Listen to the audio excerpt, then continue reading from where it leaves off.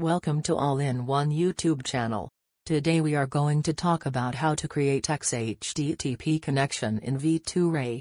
We can also call this split HTTP connection. So, let's start our work.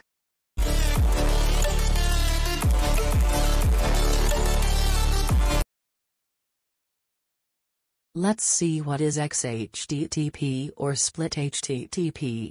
Mainly this means it transfers requests and responses as parts.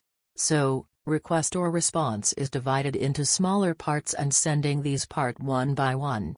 Another thing is this uses get and post request methods. So, now let's see how to set up server side. We are using 3x UI panel for this. Click on Inbounds.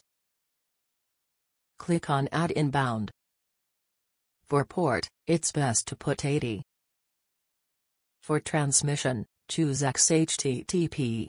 If you want, you can change path. These are enough for configuration. Now click on Create. Now you need to open port that you previously put in your VPS for coming traffic from outside. Now we need to configure V2Ray client side. For it, we can do it easily. Click on Menu. Click on Export all URLs. Click on Copy.